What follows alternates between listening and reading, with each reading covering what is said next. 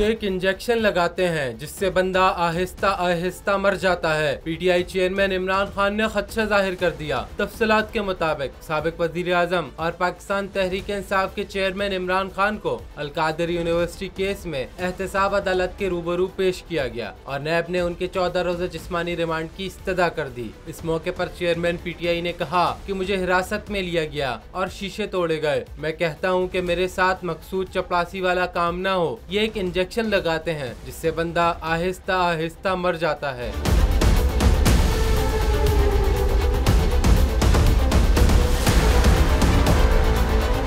खान ने एहतसाब अदालत के सामने अहम बयान दिया कि मैं 24 घंटे से वॉशरूम नहीं गया। मेरे मुआलिज डॉक्टर फैसल को बुलाया जाए। पुलिस लाइंस में होने वाली समात के दौरान इमरान खान ने अदालत में बयान दिया कि कि मुझे गिरफ्तारी के बाद नैब ऑफ़िस पहुँचने पर वारंट दिखाए गए। कौन सा रिकॉर्ड नैब को चाहिए जो मैं नहीं मान रहा? नैब कह रहा है की हमने रिकॉर्ड इकट्ठा करना है। जो भी पैसे आए थे, काबीना की मंजूरी से आए थे। इसमें हमारे पास दो ऑप्शन होते हैं। या तो हम मान जाए तो पैसा आ जाएगा। दूसरा, हमें कानूनी चाराजोई करना होती है तो हम हर केस हार जाते हैं। हम कानूनी चाराजोई पर आज तक 100 मिलियन रुपए लगा चुके हैं।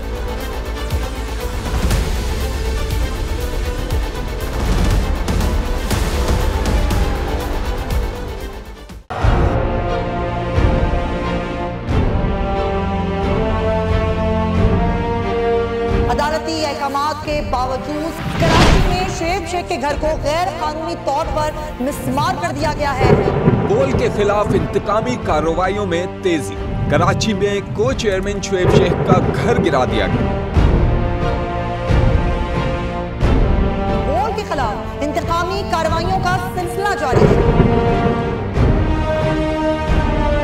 सिंध हुकूमत की अदालती अहकाम की खिलाफ वर्जी सिंध हाईकोर्ट का स्टे ऑर्डर नजरअंदाज।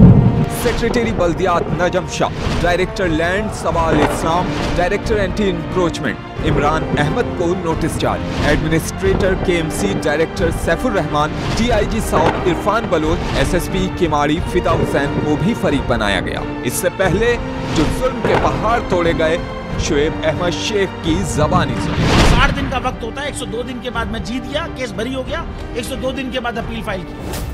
एक्सेप्ट कर ली। नहीं करते ना एक्सेप्ट खत्म हो जाता ना जुल्म यार।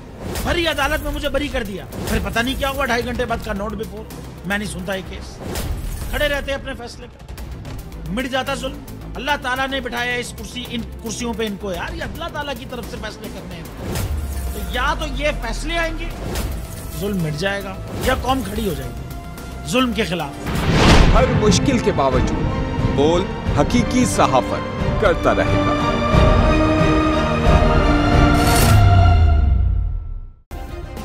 सब्सक्राइब करें और बेल दबाएँ ताकि कोई खबर रह न जाए।